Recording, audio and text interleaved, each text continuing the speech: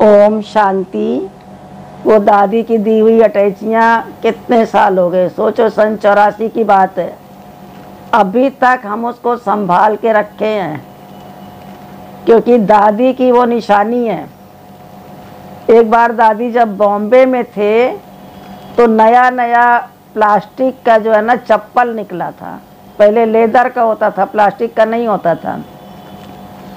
तो दादी ने ठेले पर या किसी दुकान पर देखा। तो दादी उसका चप्पल को बॉम्बे से खरीदा। और जब कानपुर आई तो ले करके आई। सोचो ये प्यार है जो प्लास्टिक का चप्पल भी अटैची में रख के ले आई। और ला करके फिर गंगे दादी को गिफ्ट किया। गंगे दादी ने वो चप्पल नहीं पहना कि दादी ने मुझे बॉम्बे से पहला चप्पल ला के प्लास्टिक निकलिए दिया है। और वो अभी तक भी वो चप्पल गंगे दादी अपने पास रखे हुए थी, हमने उसको अभी संभाला हुआ है। कोई कहता, दे दो। हम कहते, नहीं। जरा भी फ़र्क नहीं आया। ना वो मैला हुआ, ना वो पिघला, ना उसमें चिपचिपापन आया। एकदम फ्रेश चप्पल है।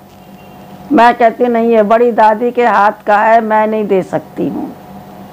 तो दादी को कितना प्यार था दिल के अंदर, जो इसी प्रकार से दादी की अपनी विशेषताएँ रही, अपनी महानताएँ रही।